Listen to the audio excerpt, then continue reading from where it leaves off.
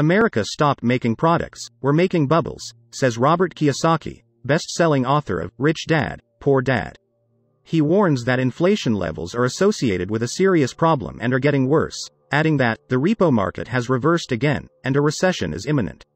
Kiyosaki claims that Solana is in its infancy and has a long-term chance to thrive among top cryptos, comparing it to a can of tuna. He concludes that the totalitarian control of the West is upon us, and the reason he wrote the Capitalist Manifesto is so that Americans can fight with knowledge and education, not with guns.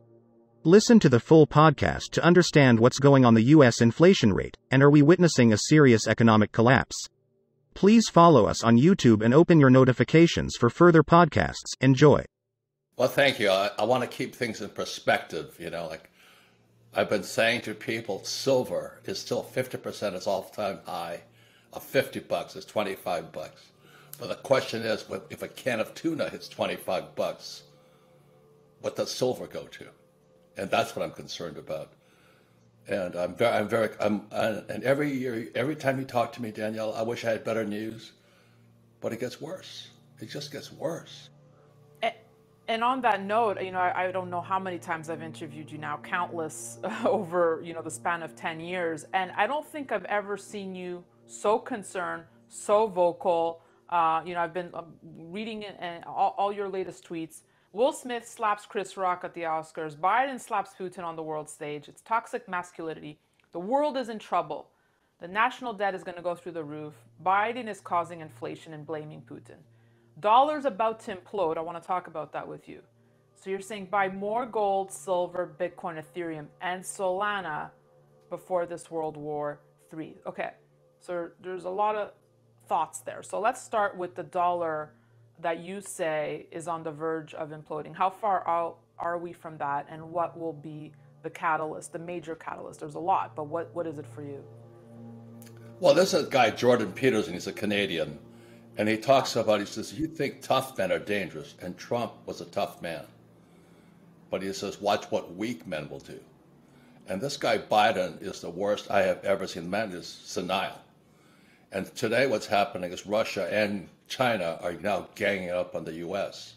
It's really a dangerous world right now. It's getting worse.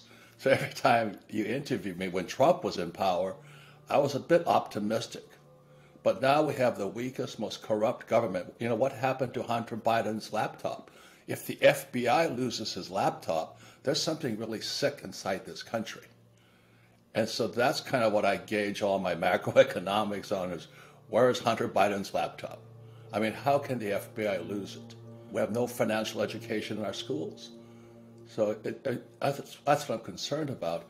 My biggest concern, Danielle, with Russia and China are ganging up on us. As we all know, America produces nothing anymore. We produce bubbles, you know, we just blow air bubbles. So we now have this bubble in real estate and stocks and bonds and and then when Biden took the Keystone pipeline, XL pipeline off the just wiped us out here. Inflation goes up and the average American doesn't have a thousand bucks. 40% of Americans don't have a thousand bucks. And so when inflation goes up, we're going to wipe out 50% of the US population. And that is when revolution starts. And, and so if and when, and it will come down, the stock market crashes, the 401k, the old guys like me are toast. You know, we don't have a retirement. Our pensions are bust. So what we have with three things is our treasury is out of control. We've lost it. Our entitlements out of control. And now we're at war in the Defense Department. So our debt to GDP is out. So every time I talk to Danielle, I said, I wish I could have some good news.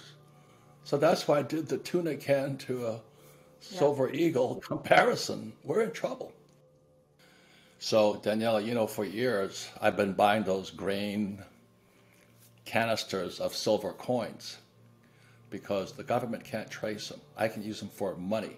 So I can go anywhere in the world with a silver coin and spend it. I can go with a gold coin and spend it without being traced. Not that I'm hiding anything. I'm just sick and tired of this government. I don't trust them. As I said, if, if, if Hunter Biden's laptop disappears in FBI custody, We have a serious, serious, serious internal problem here. And so that's why I, you know, tongue in cheek, tweeted that I'd rather have a can of tuna right now than a silver coin just to get ridiculous. Get ridiculous because I can eat tuna. I cannot eat that silver coin. I can spend it.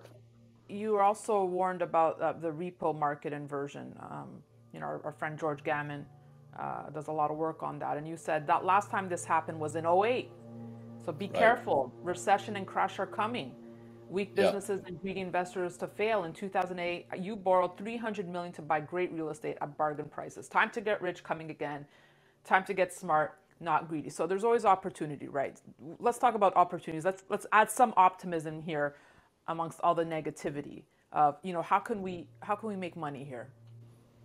Well, always remember America has stopped producing products. We produce bubbles.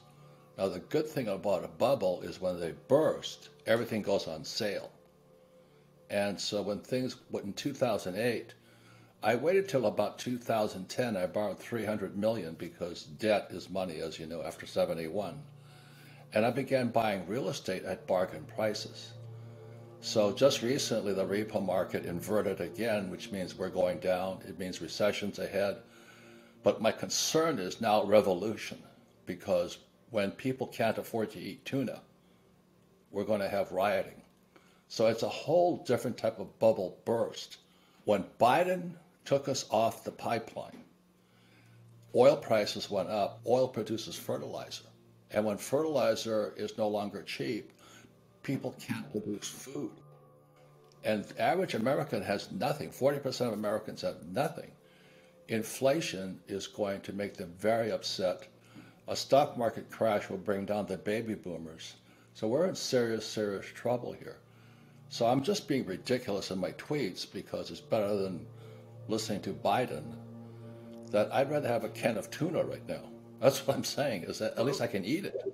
Robert, when you, um, I'm going to send you a case of tuna, but before it hits 25 bucks. But um, when we talk about, when you talk about a revolution, do you see that happening like US or global or what does that look like for you?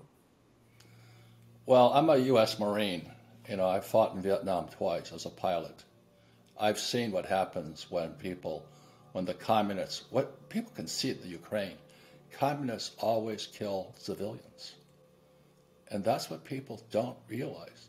And as a Marine, they sent kids and women after us so a lot of my friends who came back with PTSD, and you can see it in the Ukraine today, they're not hitting, Russia's not hitting military targets. They're hitting civilian targets. And when you understand communism, and you know, this is my latest book here, it's called The Capitalist Manifesto, is I am a student of communism. So this here is, when 65 I had to read this book here, 48 pages, one of the most influential books in world history. But nobody's read the book. They don't know what Marx said. But what Marx said, they had to have the poor get poor and the middle class come down. And that was the recipe for revolution. And I see Biden doing it when he took when he took the Keystone XL pipeline and took us off of it, and oil prices went up. Now the thing is, Danielle, I got richer because I produce oil. I don't invest in oil. I don't invest in Shell or Exxon and all that. I invest in oil wells. So when oil went from $30 a barrel to $130 a barrel, I got richer, but I also got more concern for my fellow human beings. They can't afford to live at $130 a gallon a barrel oil.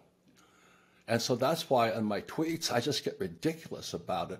Hopefully somebody will listen